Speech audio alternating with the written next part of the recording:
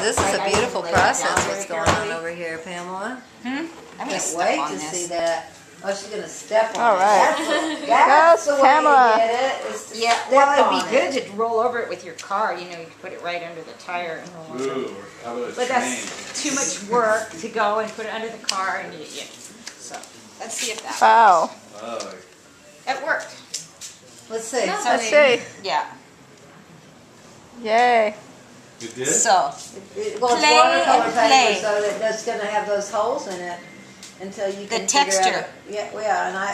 I- but you can take like while you're painting and working on this, you can You take take. water, real watercolor. No, you take the end of a paintbrush and smush down the texture Yeah, you in can do areas. that too. And yeah, There's a million different things. yeah, you those can are do. some different ones. And Courtney is such an amazing person.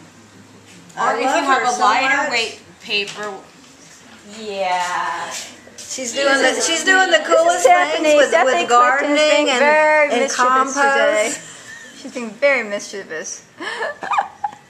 She, but you are. You're doing such cool things. It's like combos is the best freaking art we could ever want because it actually serves us. You know, it actually feeds us. So you want lighter to want me to uh, like- a bunch of I don't know if this will work. mutually based oligomers on you?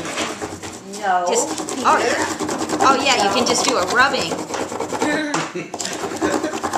I remember doing that. different kind of paint. Yeah. Like the that dries. Collecting leaves and Yeah, maybe it'll, if we do a larger area with this. Try it, huh?